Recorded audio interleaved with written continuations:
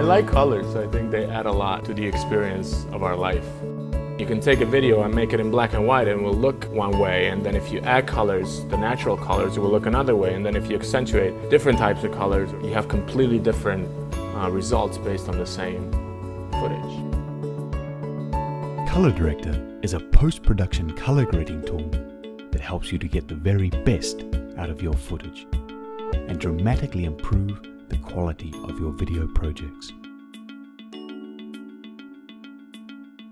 Whether you want to give a cinematic Hollywood style look to your video or correct footage that's overexposed, ColorDirector offers a powerful yet easy to use way for video makers of all skill levels to make better videos.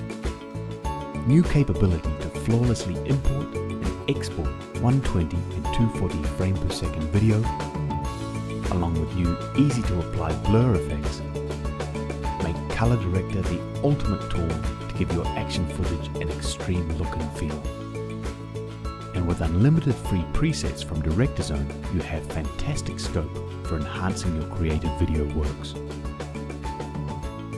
But the great thing you can do with the video is that you can use post-production. It still allows you a lot of range to then change the mood and the feel of the video or to decide what you want to show and what you don't want to show.